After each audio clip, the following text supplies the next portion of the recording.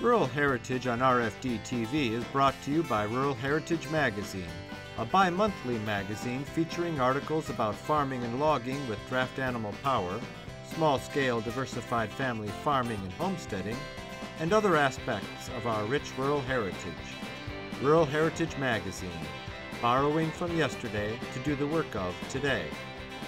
For subscription information, please call 319 362 3027 or order online at www.ruralheritage.com.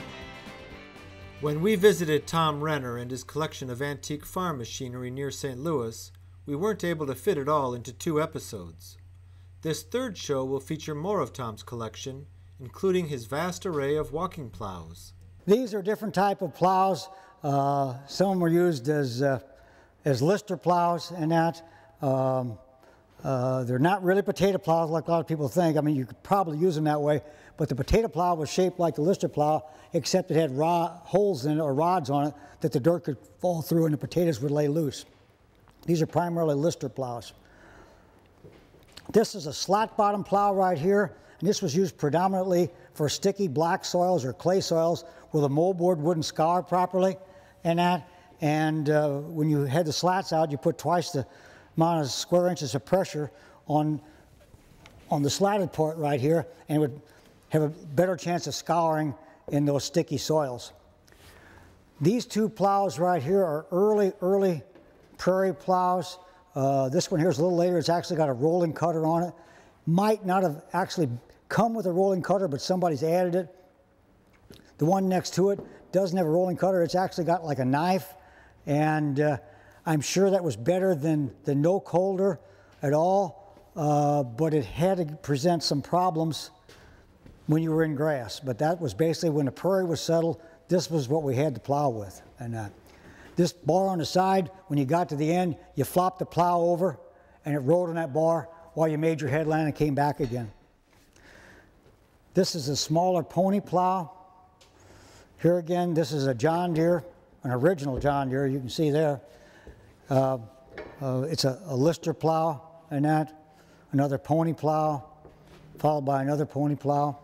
This is basically a little plow you'd use in the garden for, for putting in a row, whether it be uh, peas or whatever, and that was just a hand cultivator. This is a horse-drawn cultivator, and basically you steered it with your hands. You move the shovels in and out, and uh, if your horse was a little off to the side, and that you could you could move your shovels to get back and forth. Uh, totally wooden frame, except for the uh, steel up there on the, on the wheels and that, but uh, a very, very early cultivator. This is uh, a John Deere left-hand plow, doesn't have a coulter, has a jointer on it, and that, um, uh, not completely rare, but, but very, not very common either, uh, being left-handed uh, another John Deere plow. This is your potato plow. It's a lot of times confused with that lister plow over there. Basically, you went down your row, this shovel right here heaved the potatoes up, the dirt fell through, and the potatoes were supposedly laying on the top of the ground. It was pretty common, almost every farmstead had one of those because most everybody raised their own potatoes. This is a John Deere rollover plow and that. And basically, when you got to the end, you kicked that latch and you went right back in the same furrow and that. Uh, eliminate all the furrows in the field. Basically, you start on one side of the field and you just turn right around and went right across the field all the way. Uh, another John Deere plow. This is a really a rare plow here. They called this a rod plow and that. Uh, there again, it was for uh, soils that were very sticky. Uh, some people used them in soddy conditions and that. Um, these teeth right here were supposed to let it float.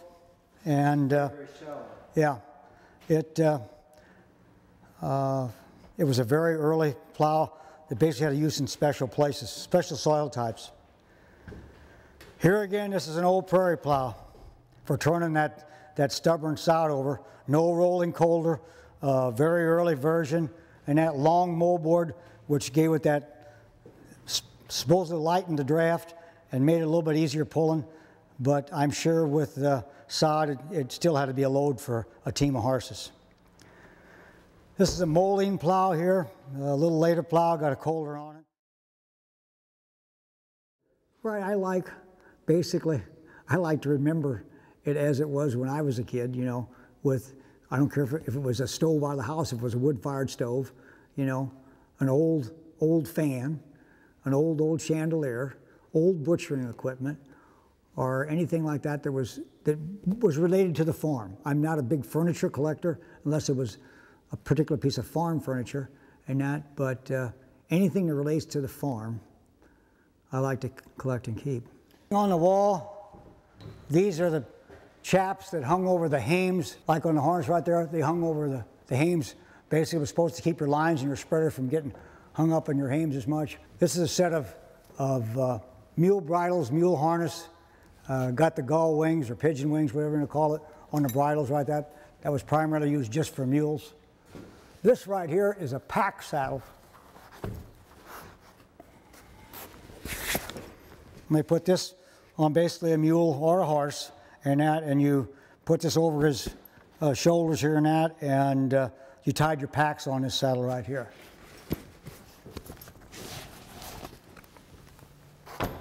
This row of shellers is predominantly John Deere shellers. Um, I rescued several of these out of uh, in pieces and put them back together. And uh, this is an Economy 10 John Deere. I think was sold out of St. Louis, Missouri here. Um, this is a new idea sheller right here. I'm A McCormick. This is an old cast iron sheller. This is a pretty rare sheller right here. When you got your good ears, you'd throw those ears out, put them in that sack. You'd put them on one of those to dry it good, keep them away from the mice. And then since it was open pollinated, not hybrid, kind of what you saw is what you were going to get. Today, if you had hybrid corn, what you saw wouldn't be what you'd get. If you tried to replant hybrid corn, it would grow, but it wouldn't be anything like the parent stock would be. And then, now you had a Duke's mixture of kernels. The ones on the ends would be the rounds, and that the ones in the middle would primarily be flats, and the ones on the end would be kind of a, a Duke's mixture. Small rounds, large rounds, whatever. And that, then you'd run them through that grater, which is right there behind you. And that would basically separate them by size. You'd have your rounds, your flats, and that. And then you would, if you had a set of plates for one of those planters, you'd have a round plate, a flat plate, large rounds, small rounds. There was 50 different plates for each planter, and then you had your specialty corns like popcorn, sweet corn, that type of stuff. This ideal corn tester here has got 100 cells in it. And basically, you put some type of heat and you put some cotton pads, put moisture on them, and that you have like a heat lamp down there, and that are kept in a warm place. And if you had 99 of them grow or sprout, you had 99% germ. And most farmers back in the day, you, you sampled your own corn to see what the germination was because you raised it on your own farm. Then maybe it was a year that you didn't have such good germination. So you generally ran a test, like in February, to see what your germination was to see, hey, this is corn I should keep or shouldn't keep, you know. This is a little later model John Deere sheller, uh, uh, wood and cast iron, and not that one over here, that number 10 is an early one, the, the economy, uh, primarily made of wood. Um, this is a metal 1B. This is a sunshine sheller here. Uh, this is a diamond uh, two-hole sheller right here, and that. Um, another John Deere sheller here. Um, this is a clipper fan mill. You use this to clean your seed. If you were going to keep your seed beans, you'd put your seed in here and, and you'd run it with your hit and miss engine or some type of power. What's unique about this one, most of them you shovel the, the seed out of the bottom. This one actually has an elevator. The elevator to clean seed into your sacks. And you all could alternate the sacks on the go from one sack to the other one. Here's another type of uh, uh, seed cleaner right here. Got different type of grates that go with it. And this right here is a very early thresh machine. This table goes down here on this end here, basically. And uh, basically you fed your, your bundles of wheat in here like this. It had a spike cylinder in it. And if you look at it, it's basically just a miniature combine. This is a straw rack or straw walkers like you'd have on a combine today. And uh, uh, a spike cylinder would, wouldn't be a bit uncommon. The southern combines use spikes and still use spikes yet today in that. This would be a horse drawn, one horse, single horse, John Deere cultivator. Another John Deere plow. This is a Chattanooga rollover plow right here. You just kick the pedal right there and that releases the latch and your moldboard swings right over. I like to show it to people that are interested, who are primarily interested or remember it and have a real, a real feel for the fact that it's old or they used it when they were a kid or something like that, you know. A lot of the machinery comes in, the pieces come in that are in, in bad shape. They need a lot of work, a lot of restoration and that. And uh, very little comes in here that looks like it does today. There's nothing I'd rather do than, I guess, than go out there with a team of horses and rake hay. But uh, I have less than no patience, so it won't happen. So predominantly, all we use the horses for is, is fun activities. You know, we, we go to some of these plowing events and steam shows, and uh, uh, I've worked with a couple different fairs on these relay races with horses and that, you know. We've kind of put our own program together, and I do several of those for different fairs and that. Uh, and that's generally in August when we're not so busy. And, and that's a good time, fun time we, we do with those. And, uh, uh, but as far as actually going out and farming, no, I don't. This is a McCormick Deering, primarily it's wheat or oat drill, but primarily was used for wheat. And what you do with this drill is you'd go down between the rows of corn. It'd have these shields on the front, and you'd actually walk a, a mule down between the rows. And you got to remember, rows in those days were 40 or 44 inches. And uh, it was a nasty job, but you did this prior to harvesting the corn. That way, when you harvested the corn off, shocked your corn, your wheat was already established. And that. So a lot of the farms, upon area, had one of these. This is the same thing right here as a John Deere of Van Brunt, except it doesn't have the shields on it and that. But uh, uh, I talked to a couple farmers that had used them and that, and they said you wore a raincoat and a rain hat regardless of the weather just to keep the corn leaves from cutting you to pieces. You had to have something over your face all the time. This is an apple cider press right here. These are wine barrels. Uh, this was a strainer. This was actually off of our, my, our family's wine press right here. It's been in the family for over 100 years and that. Uh, we use this for years to, to make wine. This is something that's quite unique right here. This is an iceless well cooler and that. And a lot of farmers just used a bucket and they crank it down the well to keep your cream or some of the goods you had in the house that wouldn't fit in the ice box cool. But this basically was a, a, for that particular job. You kept your, your pie, your butter, your cream, milk, anything like that. You wanted to keep cool, and this basically kept it at ground temperature because it was probably 25, 30 foot, not in the water, but right above the water. And uh, you cranked it up and down at mealtime to get what you needed out of your, basically your iceless cooler. And then uh, after lunch was over, you put it back in the well. Over here we have uh, wooden chicken coops, wooden or steel chicken feeders. Up above here we have brooder nests where basically you kept a setting hen with a nest full of eggs uh, so the coons wouldn't get them. Two different kinds of those right here. This is a harness vise right here. Basically you strapped your harness, the part you are going to work in, right up in here. You sat on it like this. That took the pressure off. You snapped them shut like this, and you worked on your harness where you're going to stitch it or rivet or whatever you're going to do. It's a harness vise. There's another butter churn there. Um, we can talk about this a little bit. This is a Louden hay sling. And basically, when you had your hay wagon, you put a pair of these on the floor of the wagon, and you had your hay loader or you pitched it on by hand, and you filled your wagon up. And then when you got to the barn, you gathered up this hay sling and that and gathered up that hay and you hooked it on a hook on a rope that was going to pull this big bundle of hay up into the barn. It got to the top, you brought it in on one of these track carriers right here, and then you tripped the one side of it.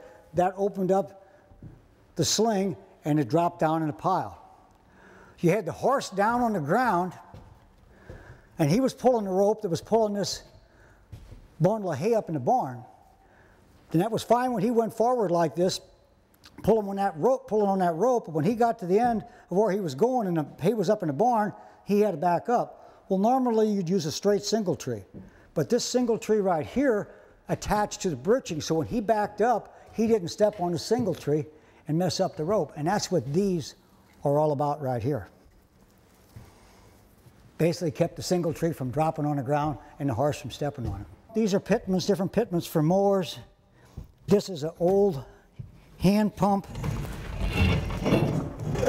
Basically, you stuck this in a pond, wherever you want to suck water from, and you, you pumped it out into whatever kind of, of a vessel you wanted to put it into. This right here is kind of unique. This is a rope maker.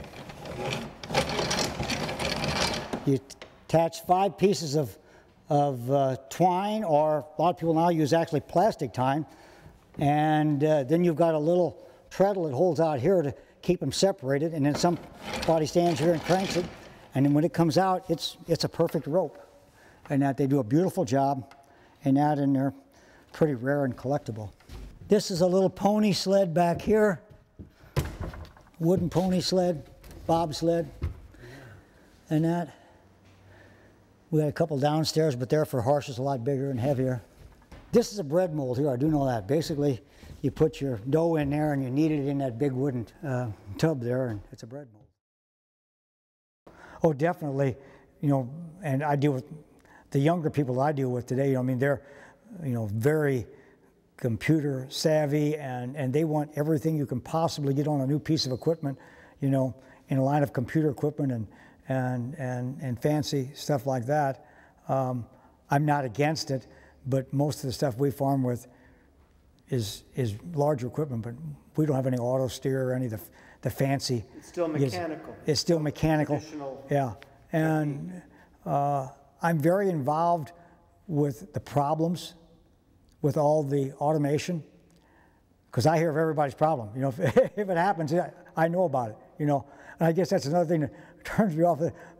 I just when I get to feel, I just want to go I don't need to be fancy. I don't have to lift something by hand, pull a lever rather than push a button. I just want it to work.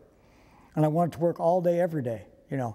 This is a 1900 John Deere two-seat Surrey. It's pretty original, still got the original leather fenders on it, still got the original authentic guarantee sticker below the seat, made of genuine oak and hickory wood and and guaranteed for a year against defects or faulty workmanship. This is some of the verification of it and that, but it certainly was out to be a 1900.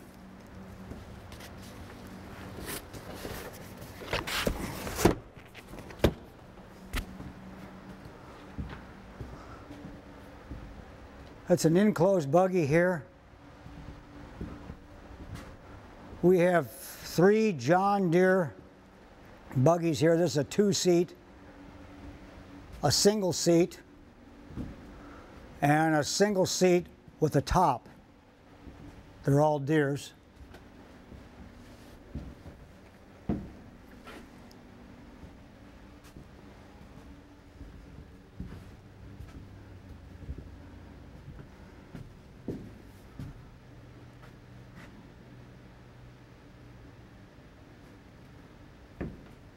This is a Lansing box, box wagon.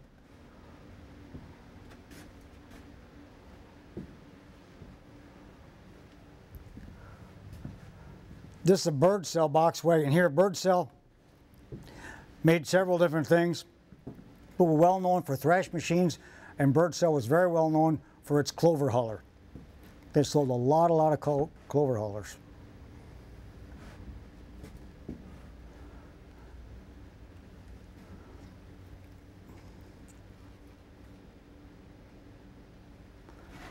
This is kind of unique right here.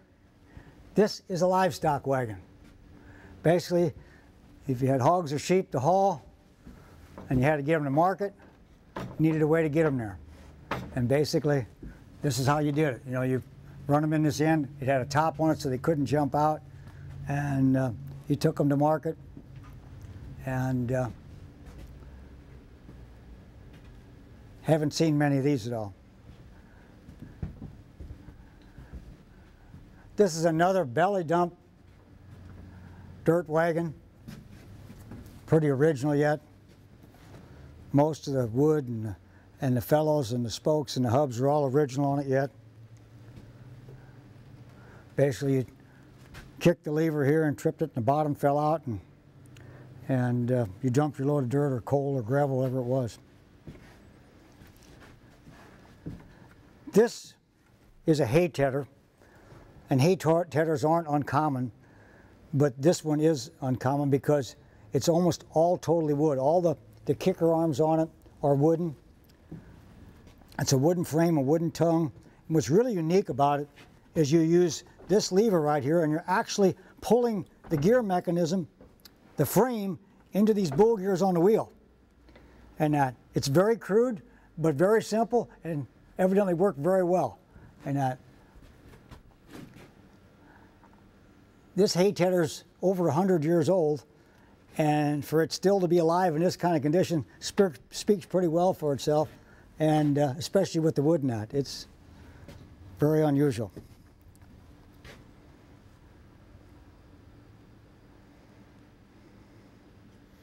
Okay, on the far end we have a spinning wheel, and that uh, basically uh, people used to take their wool from the sheep and, and spin it into yarn and then make all type of clothing and that with it. Um, after that, we have a coffee grinder, a large coffee grinder. and then there's a butter churn. I think it was a 10 gallon butter churn there. And then we have a, an old horse drawn hand seeder. Following that, there's a apple cider press. And that actually cut the apples up as well as, as squeezed them and that. And uh, this is kind of a unique item here. This is a rollover pony plow. There's quite a few horse plows that roll over, but this is a rollover pony plow, and it's almost in brand new shape yet. And then we've got this old, very primitive wooden fork right here.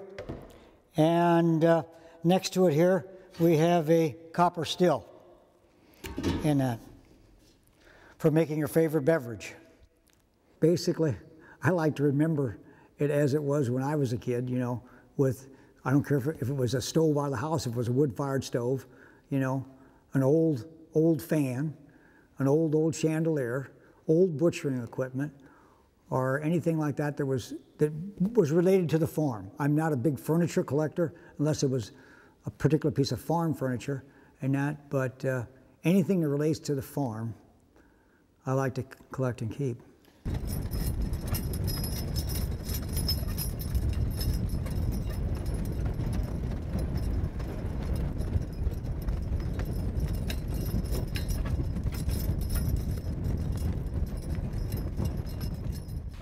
Tom doesn't operate a public museum with its accompanying operating rules and regulations. We are grateful he opened it up for us to see and share with our rural heritage viewers. We have produced a compilation DVD for sale that includes the three episodes we have shown of Tom's collection. For ordering information, please call 1 877 647 2452.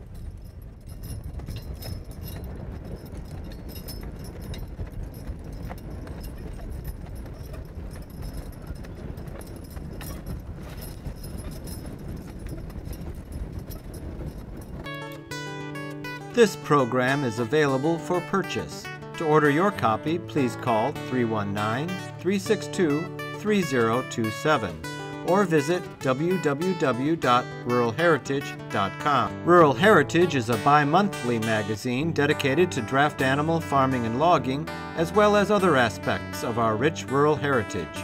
It is published by Mischka Press, which also offers a complete line of back to the land books, DVDs, and calendars.